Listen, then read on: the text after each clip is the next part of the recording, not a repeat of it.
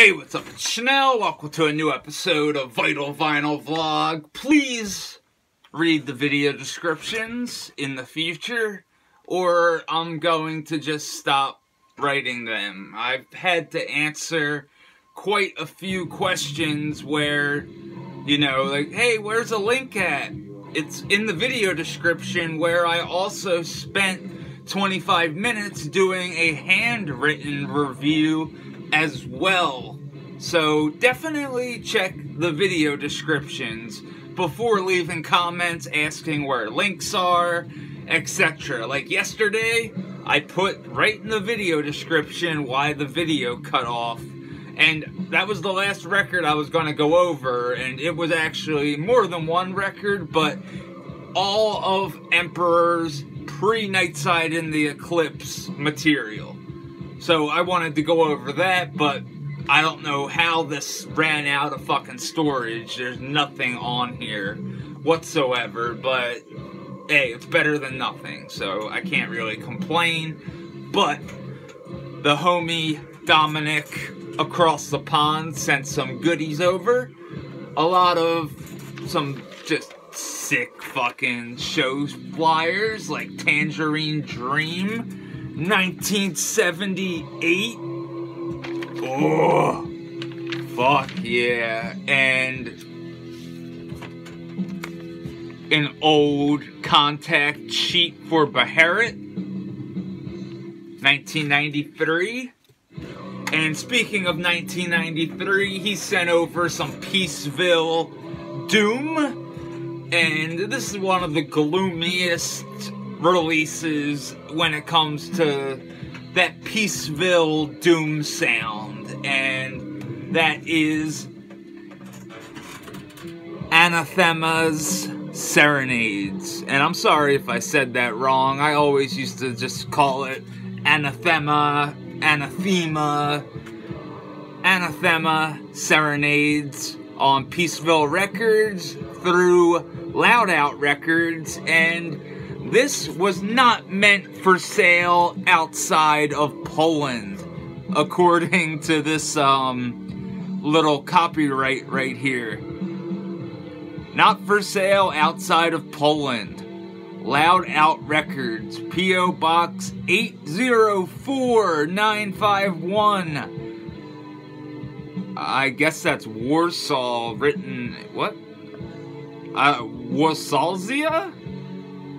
I don't know, but Peaceville and Loud Out Records, but I'm gonna mostly stick with just Peaceville here because when it comes to Peaceville Doom, they're one of the big names you're gonna see when it comes to, you know, those early Peaceville slabs of Doom and Gloom. Now, I'm a big My Dying Bride, Paradise Lost type of fan when it comes to their early material and even their new material. I personally really, really love the new Paradise Lost material. I think everything is like just amazing. For the past like three records, it's been like, wow, like, A Plague Within? Holy fuck. If you've never heard Paradise Lost, like, you know, a lot of people would say, oh, go check out Gothic. But I would legit say, yo, go listen to A Plague Within. Listen to Icon. Listen to Gothic. And, like, you, you know, but if you start backwards and, like, Paradise Lost is one of those bands that starts as, like, heavy doomy death metal and then starts getting to the point where they were Europe's answer to Metallica and they could have went to a whole different level but you know it is what it is but if you go and listen to a record like Icon or Draconian Times I think it's Draconian Times that's like dead on Black Album Metallica sounding. It's what Metallica should have sounded like sonically post the Black Album. Like, you know, fuck load, fuck reload. you have Paradise Lost. And if you don't believe me, go check out those recordings and you'll be like, what the fuck? Like, how did this not blow up? And, you know, it's only a couple Paradise Lost records where it's really on the money with the Metallica vibes, especially vocally. And it's fucking cool.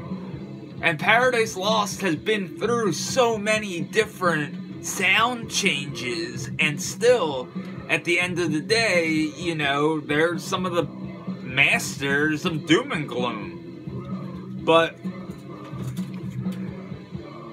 Anathema Serenades is a very, very autumn esque record. From, you know, the graphic art design to just the way this album sounds. It's definitely a record that's great to listen to when you could see like out your window the leaves withering and dying and just knowing that winter is right around the corner. And that's the type of record that serenades is. It really really you know hits you like hard but it's not one of my favorite doom records when it comes to those early Peaceville Records. And, you know, Peaceville is one of the few labels that have been killing it since day one. I mean, fuck. 1989, you have Severed Survival by Autopsy. Peaceville was all over the fucking doom scene, the black metal scene, which Earache 100% missed out on based pretty much from what I read on a single meeting. And, like, first off, at the time, I think Varg was already talking like an idiot in magazines like Kerrang and stuff. And they had like a sit down, I think at like a pizza shop or a bar. It was one of the two and you're having an inter like a sit down pretty much job interview with Varg from Burzum. He's gonna say some sketchy, you know, not kosher shit. And it left a bad taste in Earache Records' mouth to where they just avoided black metal.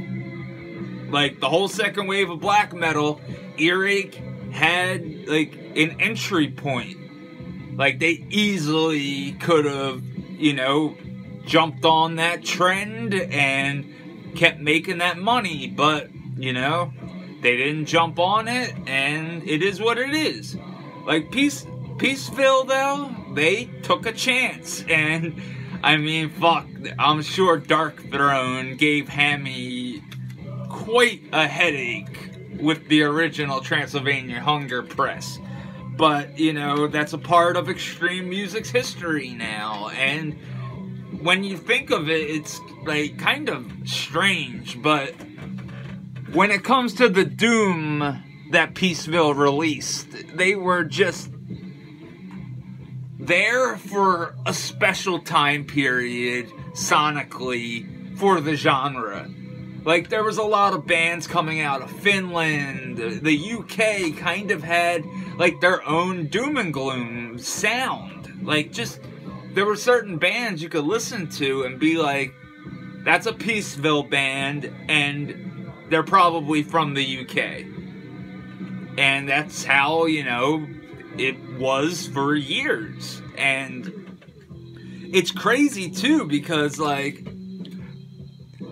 Anathema still exists.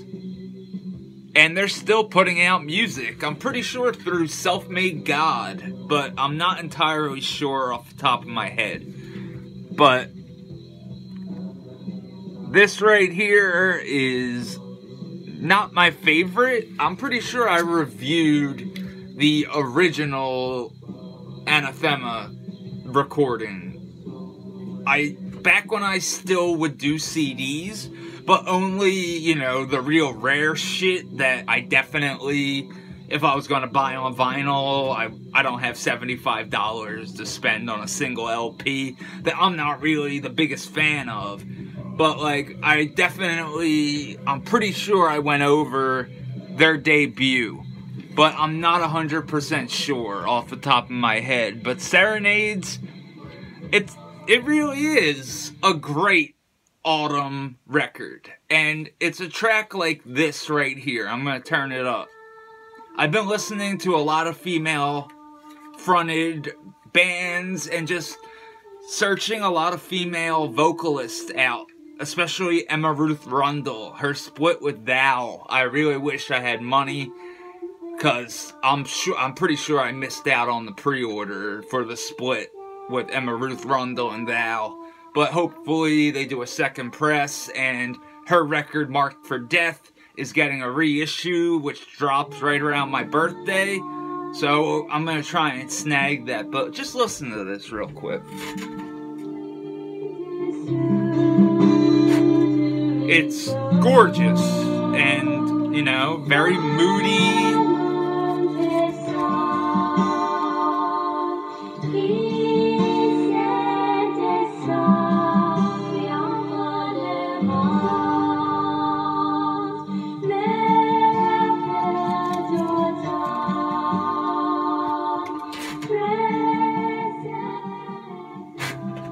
stuff. But like I was saying, definitely not my favorite. There's even a song on here that's kind of like new wavy. It's weird, but it works. And it works in just the concept of this record. Like, it feels like it wouldn't fit, but it fits very, very well with the flow of the album. And it's just an enjoyable listen. And, you know, Sometimes you just want to chill from hearing inhuman vocals and stuff, and you just want to sit back and listen to something like this. But still, it's heavy when it needs to be, and it's chill when it needs to be. It's like a perfect balance, like Katatonia's Brave Murder Day. To me, that's like the blueprint for making gloomy as fuck doom metal. And heavy as fuck doom metal. Like, again, Katatonia is one of those bands where you might be like, wait, what? But, like, go back, back, back, back, and check out Brave Murder Day, and you'll be thanking me, hopefully, because it's one of those albums that, to me, is like perfect. It's so fucking good. And you know, anathema, serenades, it's got riffs. And that's one thing I definitely have to discuss. And the doomy riffs on here are amazing. The vocals are great. It, that's what I mean. Like, it, it just sounds like. Oh, I, I love it, but at the same time, like I know, you know, there's other bands when it comes to Peaceville Doom that are more up my alley.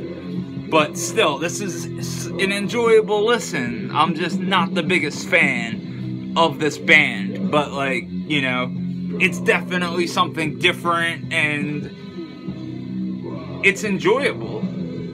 It's just, you know, I never really gone out of my way to listen to Anathema. But now I'm gonna probably listen to him a little bit more, and I'm sure my opinion will change over time. Because I do like this record, I'm just not the biggest fan, but like.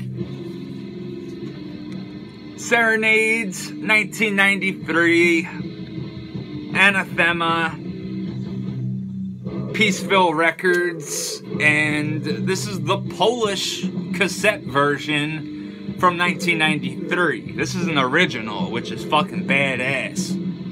But I always love the Peaceville logo. It's so fucking sick.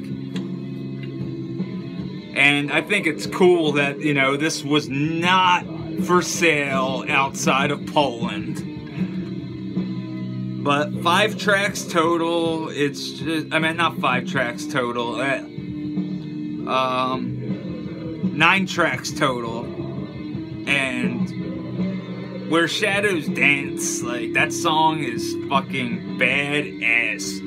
And so is Sleep Insanity. There's just a lot of good shit on here.